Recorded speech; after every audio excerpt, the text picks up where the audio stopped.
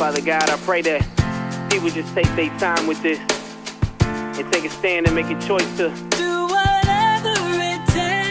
I know I recently made a decision to live my life in submission. Be submerged inside that fire and take a stand as a Christian. You got a second to listen to some things that I am going through, like feelings of conviction when I'm doing things I used to do, like kicking it with my old crew and trying to clown on them cats who ain't down with my live group. They even clowned you, and just the other day I had a vision. We were swimming, they drowned, and I almost drowned too. But then I found you and read a scripture that said, Choose wisely them folks that you let around then my vision made sense. If I'm walking in the path of others who are drowned, then I might drown too. So if I'm reading you correctly and I gotta let them go, I don't know if I can do it or if they let me. Wait, if I'm reading you correctly and I gotta let them go, I let them go because you said that you would help me do whatever it takes.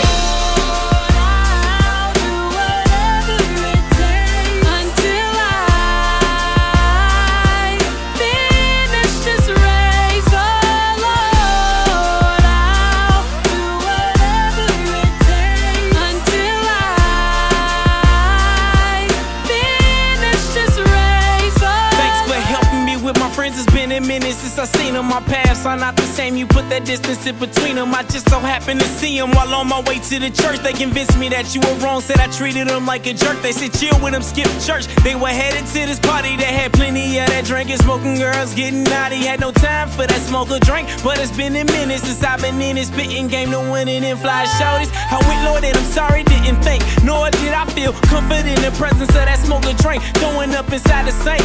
It didn't match up with your blessings. That's what I get for letting folks who don't seek you give direction. So I turned around and made a choice to run that grind until my feet have reached that goal line. And I don't care how long they stand talking about me saying how I lost my mind. Until I reach you, I do whatever it takes.